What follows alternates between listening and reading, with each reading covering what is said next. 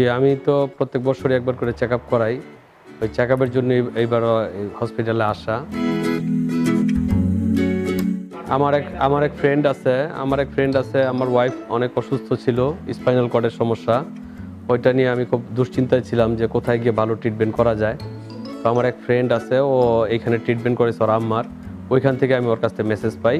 ওই মেসেজ পাওয়ার পরেই আমি আপনাদের সাথে যোগাযোগ করি যে হসপিটালে আসার জন্য। হসপিটালের মেলে যায়, আমি যোগাযোগ করি যে কীভাবে এখানে আসা যায়, কীভাবে ট্রিটমেন্টটা করা যায়। তো ইনশাল্লাহ আল্লাহ রহমতে এখানে আসার পরে খুব ভালো ট্রিটমেন্ট হয়েছে এবং এখন মোটামুটি আমি এবং আমার ওয়াইফ দুজনই সুস্থ আছি।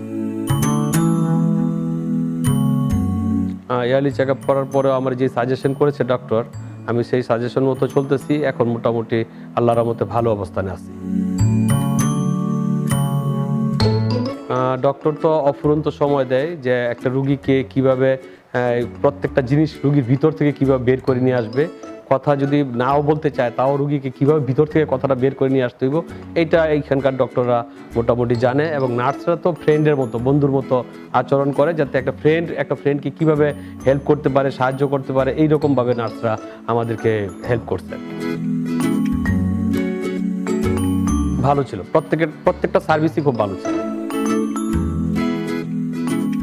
আমি অনেকের সাথেই কথা বলেছি আপনাদের হসপিটাল সম্পর্কে এবং যারা বিশেষ করে বর্ণের সমস্যা আছে, প্রত্যেকেই বলেছি যে এই বেস্তিনি হসপিটালে যাওয়ার জন্য যে এখানে খুব ভালো ট্রিটমেন্ট হয়। একবার তোমরা যায় দেখো কি অবস্থা তোমাদের দ্বারা। অনেক দেশই তো অনেকেই গিয়েছ। তুমি ব্যাংকক একবার যাও, বেস্তিনি হসপিটালে ট্রিটমেন্ট করে দেখো। ইনশাল্লাহ অনেক ভালো অবস্থান হবে।